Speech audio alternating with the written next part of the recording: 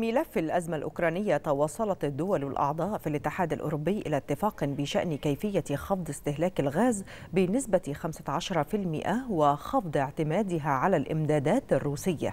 وعقدت دول الاتحاد الأوروبي اجتماعا للاتفاق على طريقة يمكن من خلالها خفض استهلاك الغاز.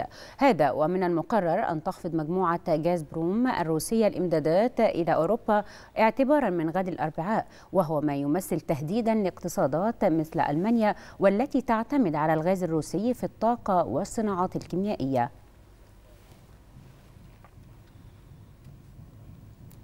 اعتبر رئيس الوزراء التشيكي الذي تتولى بلاده حاليا الرئاسة الدورية للاتحاد الأوروبي أن خفض شحنات الغاز الذي أعلنته مجموعة غاز بروم الروسية هو دليل جديد على أن أوروبا يجب أن تحد من اعتمادها على الإمدادات الروسية بأسرع وقت ممكن. وقال إن الوحدة والتضامن هما أفضل سلاحين ضد الرئيس الروسي فلاديمير بوتين. قالت مفوضة الطاقة بالاتحاد الأوروبي إن إعلان شركة غاز بروم الروسية العملاقة للغاز قالت إنها ستخفض المزيد من عمليات التسليم إلى أوروبا هذا الأسبوع وذلك له دوافع سياسية.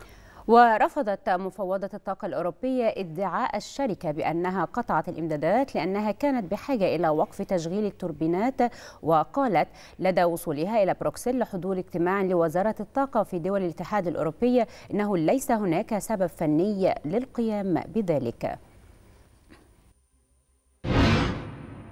أزمة الطاقة في أوروبا تتزايد يوما بعد يوم لتضاف إلى الأزمات التي تلاحق القارة العجوز سواء في الركود الاقتصادي أو التضخم المتفاقم أو النقص في إمدادات الطاقة.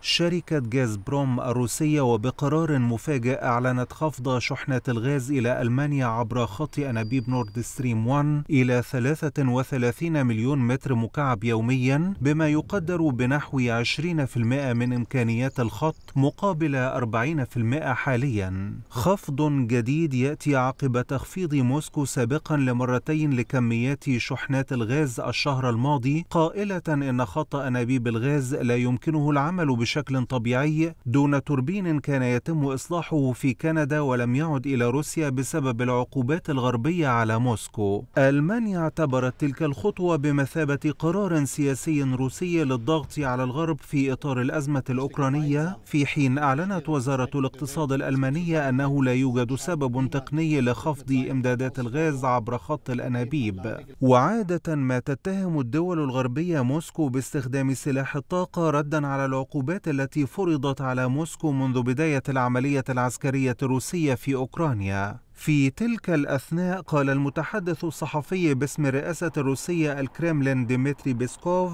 إن تصريحات المستشار الألماني أولاف شولتز بأن روسيا مورد غاز طبيعي غير آمن ولا يمكن الاعتماد عليها تتناقض مع الواقع وتاريخ الإمدادات مشددا على أن بلاده تفي دائما بالتزاماتها. وكان الرئيس الروسي فلاديمير بوتين قد حذر من أن خط أنابيب الغاز سيعمل بنسبة 20% من قدرته اعتبارا من هذا الأسبوع إذا لم تستلم موسكو التوربين الناقص حيث سيخضع توربين آخر للصيانة قريبا. واقترحت المفوضية الأوروبية للدول الأعضاء تخفيض استهلاكها للغاز بين أغسطس 2022 ومارس 2023 وذلك بنسبة 15% على الأقل مقارنة بمتوسط استهلاكها للغاز في السنوات الخمس الأخيرة في الفترة ذاتها.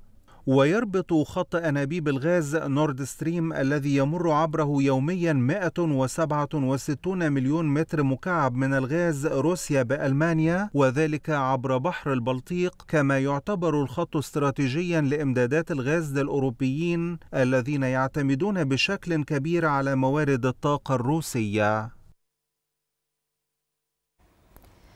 تخطى سعر الغاز الطبيعي الأوروبي حاجز ال 190 يورو الميجا وات في الساعة لأول مرة منذ مارس الماضي.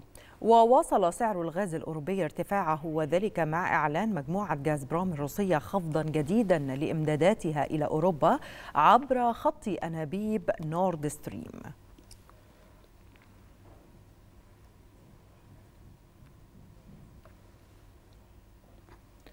قال المتحدث باسم الكريملين ديمتري بيسكوف قال إن التوربين الذي يعمل بالغاز في خط الأنابيب الروسي نورد ستريم 1 لم يصل بعد من كندا حيث تجرى له أعمال صيانة. مضيفا أن موسكو تأمل في أن يتم تركيبه عاجلا وليس آجلا. وأكد بيسكوف أن العقوبات المفروضة على روسيا تعوق عمل خط أنابيب نورد ستريم 1 مما يخفض إمدادات الغاز لأوروبا إلى نحو 20% فقط من طاقة الخط خلال أعمال الصيانة. وقالت شركة غاز بروم الروسية إن صادرات الغاز الروسية ستنخفض إلى 33 مليون متر مكعب يوميا وذلك اعتبارا من غد الأربع أربعاء أي نصف مستواها الحالي. توقع النائب الأول لوزير الزراعة الأوكراني أن تصل صادرات أوكرانيا من الحبوب إلى نحو ثلاثة ملايين ونصف مليون طن شهريا في المستقبل القريب. وأضاف أن حجم صادرات الحبوب سيزيد تدريجيا كل شهر بدءا من نحو واحد ونصف مليون طن في أغسطس المقبل. انفراجة مرتقبة لأزمة الغذاء العالمية إثر الإعلان عن توقيع اتفاق روسي أوكراني برعاية الأمم المتحدة لاستئناف تصدير الحبوب. اتفاق يأمل الطرفان الروسي والأوكراني في دخوله حيز التنفيذ وينتظره العالم لتحقيق انفراجة وتقليل حدة الأزمة العالمية فيما يتعلق بتوافر الغذاء وأسعاره في البورصات العالمية. وزارة الزراعة الأوكرانية قالت إن صادراتها من الحبوب قد تصل إلى ثلاثة ملايين وخمسمائة ألف طن شهريا في المستقبل القريب. وعلى الجانب الآخر تنتظر روسيا فتح الباب أمام صادراتها الزراعية إلى العالم رغم العقوبات الغربية المفروضة عليها بسبب حربها في أوكرانيا. وعلى الرغم من التصريحات المتفائلة لبرنامج الأغذية العالمي بأن الاتفاق الروسي الأوكراني قد يؤدي إلى تراجع في أسعار الغذاء على المستوى الدولي لكنه حذر من أن الاتفاق وحده لن يحل أزمة الغذاء العالمية حتى لو نفذ تنفيذا فعالا. ووفقا لبرنامج الأغذية العالمي فإن أزمة الغذاء العالمية ليست أزمة أسعار فحسب مشيرا إلى أن الصراعات والتغيرات المناخية وجائحة كورونا ستستمر في إبقاء أسعار المواد الغذائية مرتفعة. قال رئيس مدينة ميكولايف بجنوب أوكرانيا قال إن القوات الروسية قصفت البنية التحتية لميناء المدينة. وأشار رئيس المدينة إلى توجيه ضربة صاروخية ضخمة على جنوب أوكرانيا من اتجاه البحر الأسود وباستخدام الطيران دون أن يقدم تفاصيل عن آثار الضربة من جهتها أعلنت وزارة الدفاع الروسية تدمير ثمانية صواريخ وأسلحة مدفعية في منطقة ميكولايف الجنوبية.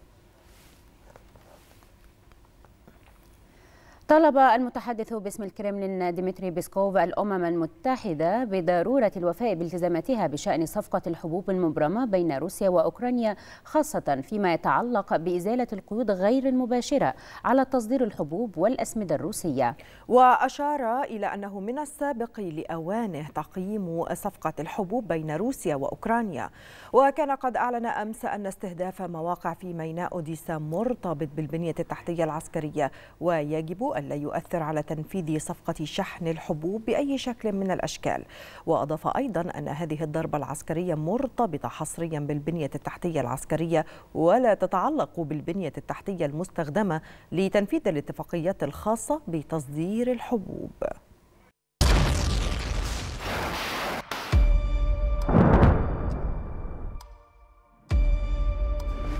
Бандеры проклятые!